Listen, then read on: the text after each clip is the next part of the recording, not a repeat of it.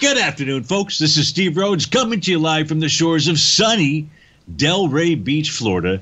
This is your 2 p.m. update and currently of all the U.S. indices trading in the upside. Dow is up 670 points, a little over 2%, 2.5% for the S&P or 96 points, 3% nearly for the NASDAQ 100, 345 points. Russell's up 3.5%, 59. Semis up 4 and 6 tenths percent, 124. We've got a rally that is going on. However, be careful out here. What do you mean be careful, Stevie? It's party time out there. Maybe it's party time, but if we go take a look at that uh, NYSE Advanced Decline Oscillator, that's going to be panel number two. What that is, what that represents, that represents the difference between the 39 and 19 period exponential moving average of the Advanced Decline line. Whew!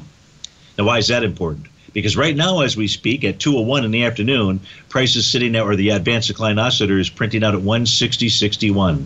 It is up into that over bought reading. Not that it can't get higher, but is an overbought reading? The question is by day's end, will this be kind of a plus 150 failure? You have to be careful out here when price gets up to these levels. I'm not saying it's like a top of a top, but this is where this could be an exhaustion move to the upside out there. So you do, yes, it is great market breadth.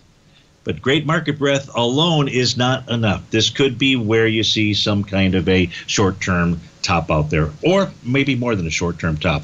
Let's go take a look at what's going on inside the cash indices out here. We'll switch over to a different screen. We'll see that the uh, Dow has not made it all the way up to its resistance level in the cash index. That's the June 28th high. That's a 31,885. In the case of the S&P 500 on a cash index basis, that level that it's got to clear is 39.45.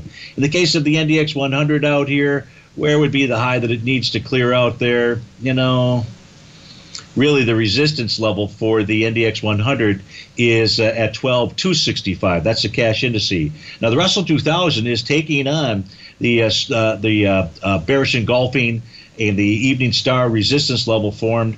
And that's at the 1792.60 level, 1798. So that one does look pretty good. Uh, a to B equals C to the upside inside the semiconductor index out here. New York Stock Exchange that needs to deal with resistance out here at the 15028.